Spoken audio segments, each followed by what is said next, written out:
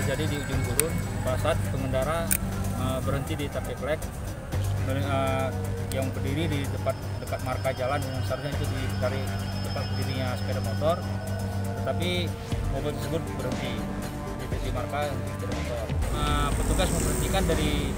traffic light ujung gurun dibawa ke arah ke pos ujung gurun tiba si pengendara melarikan diri sehingga petugas uh, curiga maka petugas melakukan pengejaran. Ketika sampai di uh, bandar di jalan Simpang Tamsis belok ke kiri arah ke Bandar Kali